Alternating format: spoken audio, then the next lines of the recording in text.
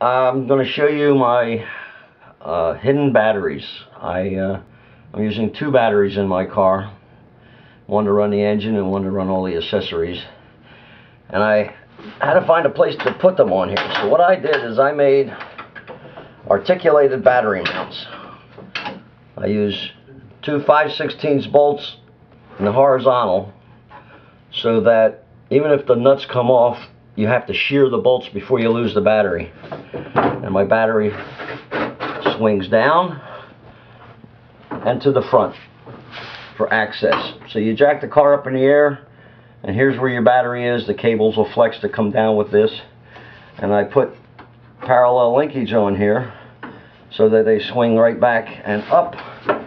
And all you need is some muscle to lift the battery up in place. And you slide the bolts back in, in and your batteries are all hidden.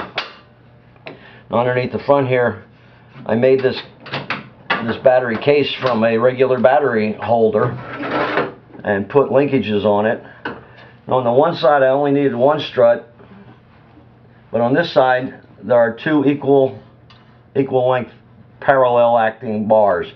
I put built some bracing onto the battery box for this corner. I used half inch square steel tubing little 25 cent nylon bushings from Ace Hardware, one quarter inch bolts for all the pivots. Everything's nice and smooth. And you have to allow room for your bat this to clear the battery as it comes up. And I just put some pivots up into the framework. And the battery goes up, hides underneath the headlights.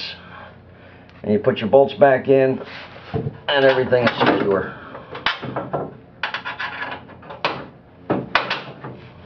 There you go. That's it.